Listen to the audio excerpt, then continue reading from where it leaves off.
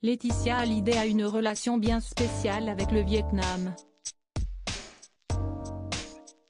Si est le pays qui a vu naître ses filles, Jade et Joy?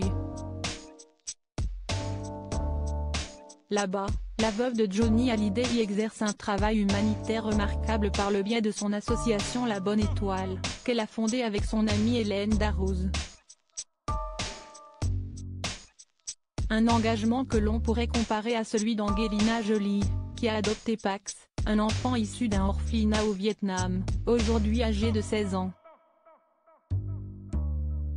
Ou encore celui de Lady Diana, dont on connaît toute la bienveillance envers les plus démunis. Ces similitudes ne sont pas le fruit du hasard. Selon les révélations de son ancienne agente artistique, Laurence Favalelli, dans son livre Laetitia H., au cœur du clan Hallyday, ce sont deux stars que la maman de Jade et Joy adore. Dans un chapitre, elle y évoque son travail au service de l'image de Laetitia Hallyday, qu'elle a souhaité articuler justement autour de ses engagements humanitaires. J'y crois, à ce nouveau projet, se souvient l'agente. Laetitia veut devenir quelqu'un, elle aussi, résume son ex-agente un peu fatiguée des coulisses du showbiz. Je voudrais donner un nouveau tour à ma vie professionnelle, l'humanitaire m'a tiré il y a tant de choses à faire avec cette association. Il faut lui donner un estampillage d'utilité publique, la possibilité d'entrer dans le pays sans visa, de se développer. Enfin, de développer l'image de Laetitia au profit de l'association.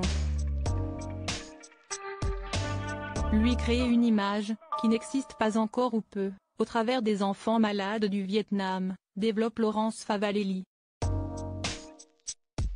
L'épouse de Johnny Hallyday souhaite s'émanciper de l'image du rocker pour créer la sienne, à travers le prisme de son association. Laetitia, dévouée engluée dans la présence de son mari, qui veut devenir quelqu'un, elle aussi, résume son ancienne agent. La maman de Jade et Joy et son équipe s'inspirent des deux grandes stars, Lady Di au Vietnam. Ou Angelina Jolie. Les idoles de Laetitia, qui mènent à si souvent parler.